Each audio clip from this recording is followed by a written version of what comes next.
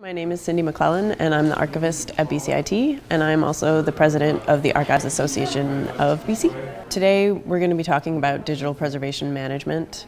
Um, there's a lot of different aspects to digital preservation, and a lot of hurdles to be overcome, one of which is that a lot of people don't even think about digital preservation as being a problem. We have just the basic challenge of dealing with your uh, textual uh, analog records, you know, like I said, the, the, back hallway that's now filled with all these boxes and we need to deal with them finally.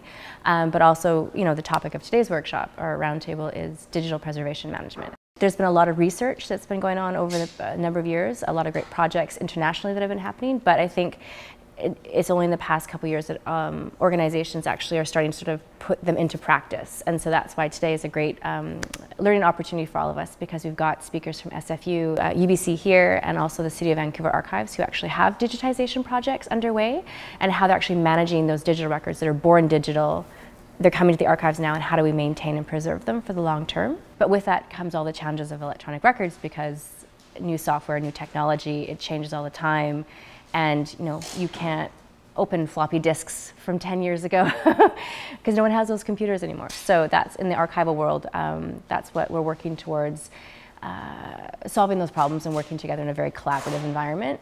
Our membership throughout British Columbia is quite uh, diverse. We have over 230 members right now, which is um, a great number, and it's, it's, growing exponentially. I think as people realize that um, their back hallways and, and, rooms are filled with boxes, and now they need to officially formalize their archives. As part of my job, I help the university remain compliant with the privacy legislation that applies to us, um, and I also advise on how we can protect the privacy of the individuals who appear in the records, and trying to strike that balance between openness and access and protection of privacy privacy. We are able to archive uh, personal information. Um, usually there's a closure period or a period in which that information would be restricted. Archivists take a very, very long view, like we're preserving these records for potentially hundreds of years into the future.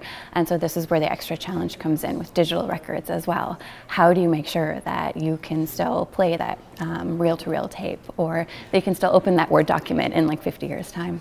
One of the reasons that I am an archivist is that I really care about history, I care about stories, stories. I care about um, getting rid of some of those silences in the historical record. Um, and as an archivist, uh, you have a hand in that. You have a hand in writing history. You have a hand in preserving kind of the first draft of history, um, the kind of things that genealogists and historians will be looking at in the future.